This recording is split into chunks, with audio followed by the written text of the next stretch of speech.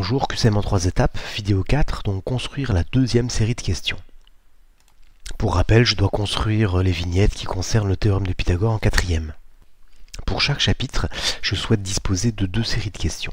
Une première série qui sera diffusée auprès des élèves. Cette diffusion pourra se faire sous forme papier, sous forme numérique, avec LibreOffice, Lime Survey, Anki. Nous reviendrons sur ce point en fait dans d'autres vidéos. La deuxième série contient les questions que je vais utiliser pour construire mes évaluations. Mon objectif est d'éviter un apprentissage complètement inutile. Apprendre par cœur des séries de lettres ABCD ne fait pas progresser les élèves.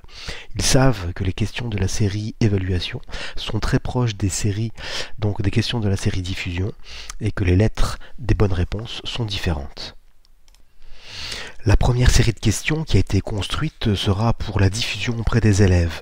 Pour construire cette deuxième série de questions pour les évaluations, je fais un copier-coller du dossier qui contient le fichier LibreOffice. Je renomme le dossier, je renomme le fichier LibreOffice.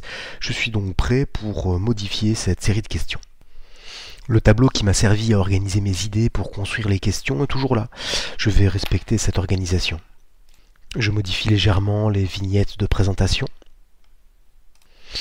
Question par question, je vais modifier un élément ou plusieurs. La nouvelle question doit être très proche de l'original, mais suffisamment différente pour que la lettre qui correspond à la réponse soit une autre lettre. Ici, nous observons la vignette numéro 3. J'ai changé racine carrée de 25 par racine carrée de 64. J'ai également euh, changé les propositions de réponse. Un autre exemple, vignette 7, le triangle DEF devient le triangle EFG. J'ai changé le dessin, les propositions sont différentes. Euh, la carte réponse est bien évidemment actualisée également.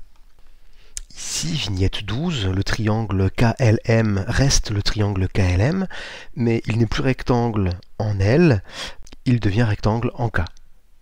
Un dernier exemple, la vignette 19. Il est un peu plus compliqué de modifier des détails quand la vignette a été construite sur papier. Deux options sont possibles, soit on refait une autre vignette sur papier, soit on garde le même fichier image et on modifie quelques éléments graphiques. Ici, j'ai juste changé l'ordre des quatre propositions en effectuant, avec photofiltre, des copier-coller. Quand les 21 questions ont été légèrement modifiées, il faut penser à actualiser le texte sur le bandeau de droite. Je sélectionne le texte Question, série 1. Puis j'utilise le menu Édition, Rechercher et Remplacer. Le nouveau texte peut être Question série 2 EV pour évaluation.